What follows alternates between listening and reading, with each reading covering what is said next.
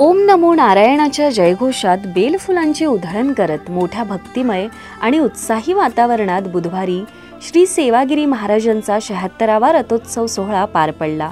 महाराष्ट्रासह कर्नाटक गुजरात आणि इतर राज्यांमधील सुमारे सात ते आठ लाखांहून अधिक भाविक तसेच यात्रेकरूंनी या उत्सवाला हजेरी लावली. श्री सेवागिरी देवस्थानचे मठाधिपती सुंदरगिरी महाराज ट्रस्टचे चेअरमन विश्वस्त आणि ग्रामस्थांच्या उपस्थितीत बुधवारी पहाटे श्री सेवागिरी महाराजांच्या संजीवन समाधीस अभिषेक आणि मंत्रपुष्पांजली अर्पण करून आरती करण्यात आली. प्रारंभी फुलांनी सजवलेल्या रथामध्ये श्री सेवागिरी महाराजांची प्रतिमा आणि पादुकांची प्रतिष्ठापना करण्यात आली.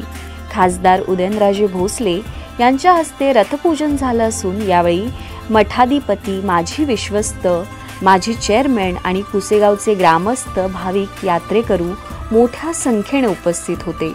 श्री सेवागिरी महाराजांच्या रथ मिरवणुकीस सकाळी दहा वाजता प्रत्यक्षात प्रारंभ झाला. भाविकांनी श्री सेवागिरी मंदिरात संजीवन समाधीच्या दर्शनासाठी पहाटेपासूनच रांगा लावल्या होत्या.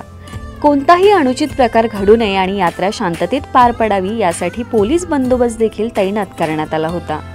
शिवाय पुसेगाव ग्रामपंचायतीतर्फे यात्रेकरूंना मुबलक पाणी पुरवठा देखील उपलब्ध करण्यात येतोय.